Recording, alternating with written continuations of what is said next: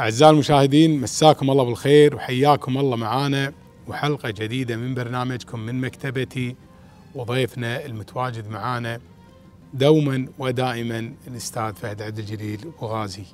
أمتى مساك مساك الله بالنور والسرور يا فهد حياك الله الساعة المباركة واليوم راح نتكلم عن مجلة الرياضة العربية عدد الأول 1977 نعم. نستكمل هالعدد. رسالة رسالة مصر من محمود معروف. صراع عنيف في دوري مصر. انتهى بفوز الأهلي كالعادة. الدوري المصري الأهلي والزمالك. إي نعم. يعني ممكن يدش وياهم الإسماعيلي يدش فترات دش وياهم المقاولون مقاولون العرب فترات.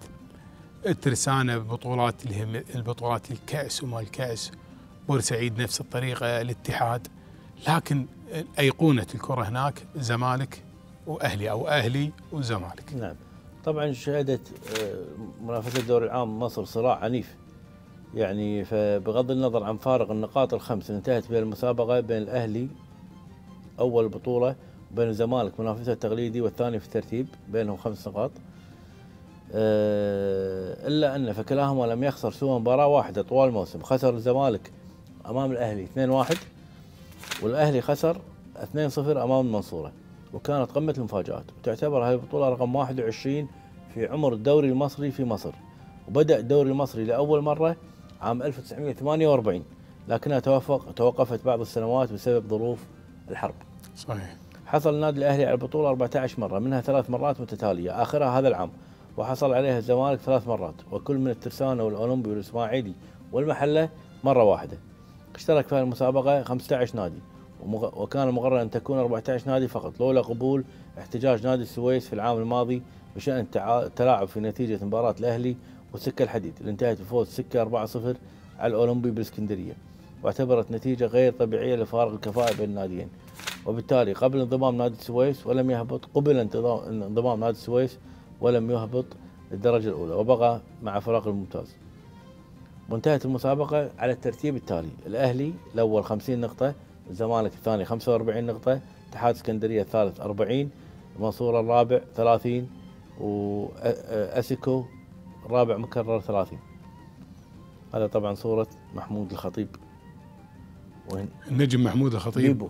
نجم آه، الكرة المصرية والكرة العربية من النجوم اللي يعتبرون من أفضل النجوم أو يحظى على شعبية جارفة على مستوى الوطن العربي. يعني مو بس مصر اللي تحبه يمكن أغلب الدول آه، أو مشجعين الدول العربية يحبونه مثل جاسم يعقوب شلون يحبون الدول العربية. جاي ماجد عبد الله عدنان الطلياني منصور مفتاح حمود سلطان مجموعة من اللاعبين كانوا مثل أيضا آه، أحمد راضي حسين سعيد نجوم آه، كانوا يحبونهم الدول العربية في تلك الفترة.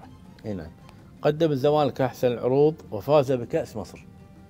فاز الزمالك بكأس مصر.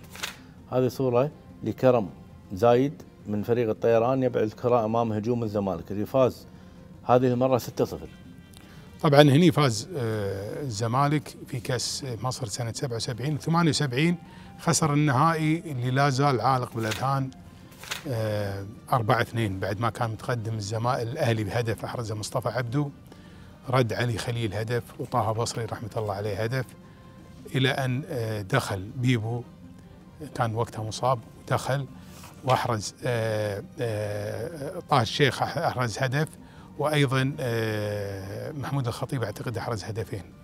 نعم. طبعا الرياضة العربية تنقلنا إلى أبطال عرب من الكويت في منتخب آسيا.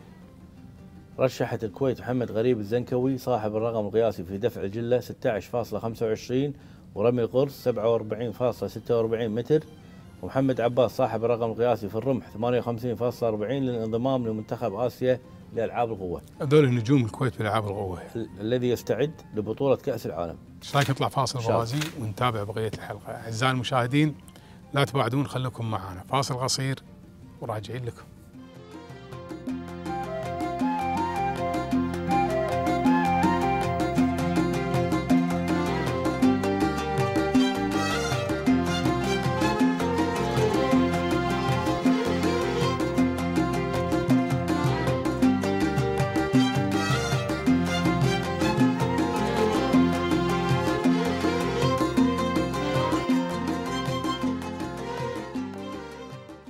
أعزائي المشاهدين رجعنا لكم بعد الفاصل وتكملة بقية حلقتنا إحنا في ال part الأول مع مجلة الرياضة العربية.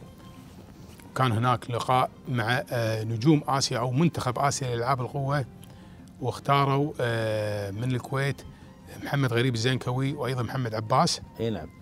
طبعا اختاره منتخب آسيا ليستعد لبطولة كأس العالم.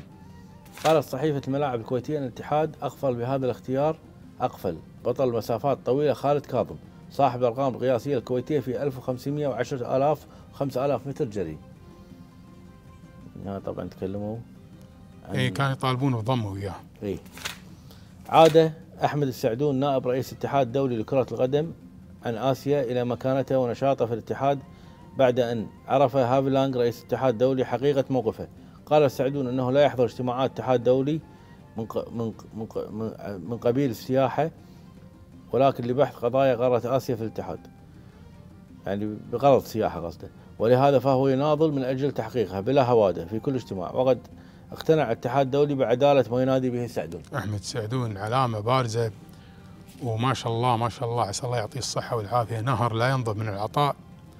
يعني آه، مناصب كثيرة تولاها سواء على المستوى الرياضي أو على المستوى السياسي. آه، رئيس مجلس أمة نائب رئيس مجلس أمة عضو مجلس أمة آه، كان وكيل وزارة آه، المواصلات في فترة من الفترات رئيس الاتحاد الكويتي لكرة القدم نائب رئيس الاتحاد الدولي عن قارة آسيا آه، عضو مجلس إدارة واحد مؤسسين نادي كاظمة ونادي النهضة بعد. موسم رياضي حافل في الكويت. هذه صورة للشيخ سالم صباح سالم وزير الشؤون الاجتماعية والعمل مع رئيس نادي الشباب الكويتي أحمد جعفر بالأحمدي. رحمة الله عليه أبو باسل كان داعم للرياضة والرياضيين كان وقتها وزير الشؤون. طبعا آه، بلغ عدد الاتحادات الرياضية بالكويت عشر اتحادات. هي كرة القدم سلة طائرة اليد ألعاب القوة كرة المضرب التنس كرة الطاولة والسكواش والجودو والمبارزة والسباحة والجمباز. كل هذه الاتحادات أعضاء في اللجنة الأولمبية الكويتية اللي تأسست عام 1957 يرأسها حاليا الشيخ فهد أحمد صباح رئيس الاتحاد الآسيوي لكرة اليد ورئيس نادي القادسية. ولم تقتصر الرياضة في الكويت على الأندية والهيئات بل الدولة اهتمت بوجود الألعاب الرياضية في المدارس باعتبارها القاعدة الأساسية لأي طبعا نهضة رياضية. أه وتكلموا طبعا إن حيث أصبح فريق كويتي يحسب الالف حساب والدليل على ذلك فوز منتخب الكويتي بدورات الخليج الأربع التي اقيمت حتى الآن على التوالي وفوزه أخيرا ببطوله المجموعه الرابعة الآسيوية في تصفيات كأس العالم. التي سيخوض مراحلها النهائية مع أبطال المجموعات الأخرى في أكتوبر القادم. طبعا أه وكذلك تكلموا وفهد آه، عن منتخب الكويت العسكري. أما على الصعيد العسكري ومنتخب الكويت العسكري لا يقل كفاءة عن المنتخب الأهلي. والدليل على وصول النهائية المنتخب. في بطولة العالم العسكرية الثامنة والعشرين. اقيمت مباراتها في العاصمة السورية بدمشق في الفترة من 22 يونيو حتى 3 يوليو عام 1977 آه، الكويت وهو النادي الذي جمع طبعا بين البطولات الثلاث في كرة القدم نادي صحيح. الكويت أما عن النشاطات هو قصده الدوري المشترك والدوري العام وكأس الأمير إي أما عن النشاطات طبعا آه، المحلية ففي الكويت يوجد 14 نادي منها ثمانية في الدرجة الأولى وستة في الدرجة الثانية. وأندية الدرجة الأولى في الموسم القادم هي الكويت وهو النادي اللي جمع بين البطولات الثلاث بطولة كأس أمير البلاد المعظم، بطولة الدوري العام، بطولة الدوري المشترك. نعم. ويضم نخبة ك- كبي- كبيرة من نجوم المنتخب مثل أحمد طرابلسي الحارس الأمين، إبراهيم دريهم قلب الدفاع، سعد الحوطي صمام الأمان في دفاع المنتخب، وعبد العزيز عنبري الجناح الأيسر، ومحمد شعيب فنان الوسط. نعم. نادي القادسية ثاني البطولات الثلاث والمنافس الوحيد لنادي الكويت في الموسم الماضي وهو أحد معاقل الكره في الكويت لما له من شعبية كبيرة ومستوى جيد في جميع الأنشطة المحلية والعالمية. ونجح في كسب شهرة طيبة بعد أن تعادل مع فريق سانتوس البرازيلي ويضم عدد كبير من نجوم اللعبة في المنتخب الأهلي مثل جوهر خليل جاسم. جوهر خليل جاسم يعقوب فاروق إبراهيم فيصل الدخيل ورضا معرفي سلطان يعقوب وحمد بوحمد وسعود بوحمد. والنادي العربي هو معقل آخر من معاقل الكره في الكويت وصاحب مدرسة عريقة في الكرة يطلقون عليها المدرسة الخضراء وصاحب النصيب الأكبر بالفوز بالبطولات. ومن نجومه طبعا علي الملا والعسعوسي يعني بدر أبو عباس. إيه. وصلنا التجوري أبو غازي. صورة نادي الكويت جماعية بطل البطولات الثلاث. يستحق آه، بطل البطولة آه، آه، اللي حقق الثلاثية نادي الكويت موسم 76 77 بإحرازه بطولة الدوري المشترك والدوري العام وكأس الأمير. أعزائي المشاهدين وصلنا لنهاية حلقتنا. تقبلوا تحياتي. تحيات أخوكم فهد عبد الجليل. إلى نلقاكم إن شاء الله في حلقات قادمة. ومع السلامة.